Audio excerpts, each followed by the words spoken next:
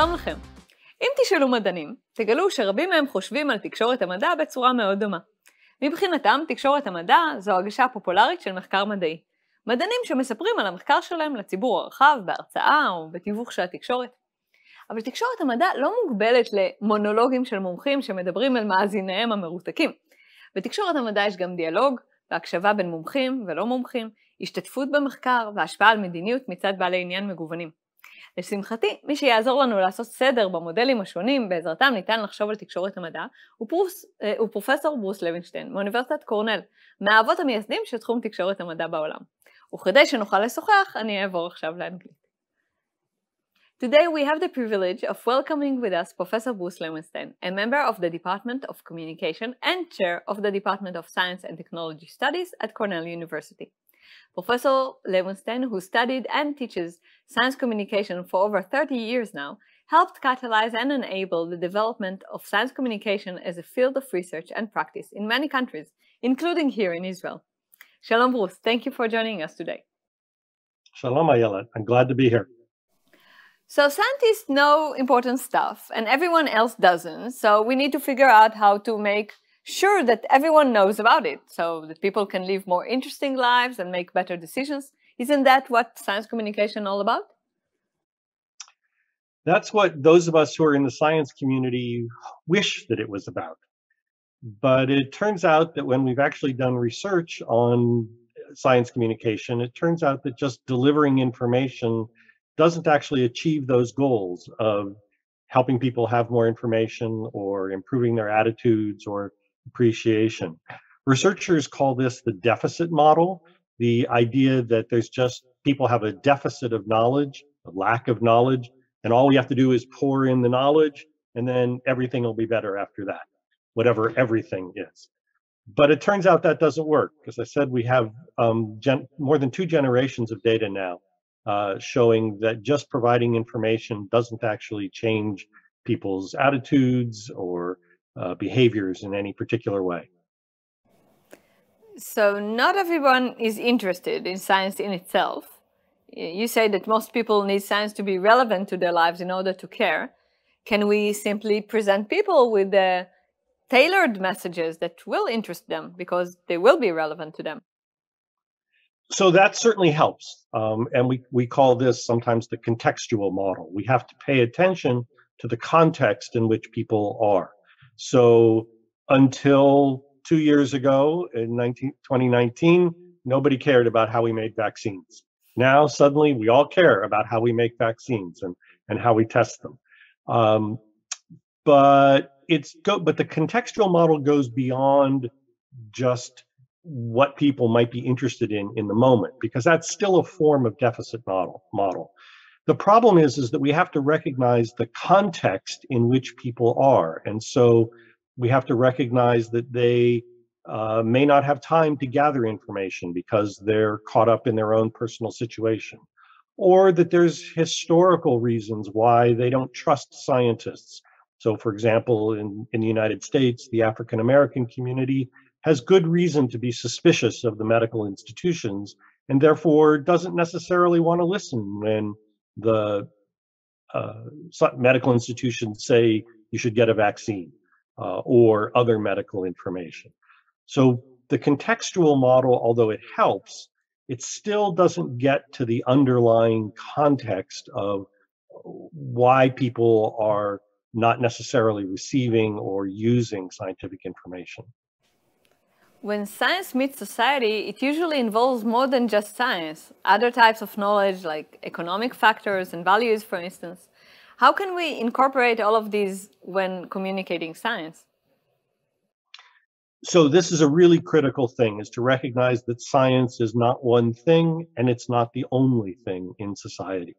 That people living are living their lives and they're making other kinds of economic decisions and they have other forces on their lives. And this leads to uh, what's called the dialogue model. Sometimes some people call it the public engagement model. The idea that when we want to work with communities we and with people, we have to listen to them. We have to engage in dialogue and we have to try to understand what their concerns are. Why are there uh, eco- what are the economic issues that might affect them? For example, again, here in the United States, people can't necessarily take off from their jobs for an hour or two to go get a vaccine uh, injection uh, because they don't have the economic security to to do that. That has nothing to do with whether they believe in the vaccine or not. It has to do with whether they can afford to put food on the table. So, as science communicators, we have to engage in real, honest dialogue, two way dialogue, to find out what the issues are and figure out. We have to figure out then what is it that we have to change in what we're talking about in order to start building trust with uh, the people, the communities that we're talking to. That's really the key issue is building trust. That's ultimately what turns out to be the most important thing in whether people listen or act on the information that we give them. Well, we discussed different goals of science communication from defending science and marketing it to people to engaging and deliberating with the public. Can the publics also participate in creating new scientific knowledge? Yeah, this is one of the most exciting areas in science communication that's emerged in the last 10 or 20 years. It's an area that some people call public participation in scientific research, other people call citizen science. And this is the idea that ordinary citizens can be part of the scientific process. They can be part of gathering data, they can be part of analyzing data.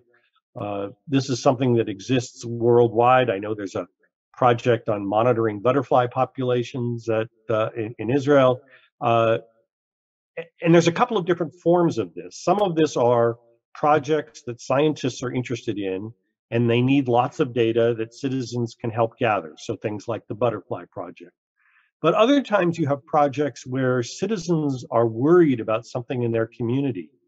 Often this is a water quality problem, for example, and they will design their own project. Maybe they'll ask scientists for help, but ultimately it's their project and they're trying to change something in their society, in their community. Uh, and so, and they're using the scientific process to, to do that. And that's also a form of citizen science.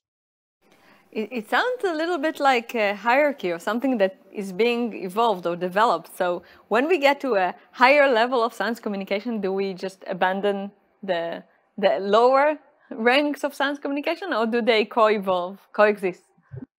It turns out they they have to coexist. There's uh, uh, uh, um, you can't have the public engagement model or the citizen science model without also having some information transfer of the sort that de- that the deficit model happens.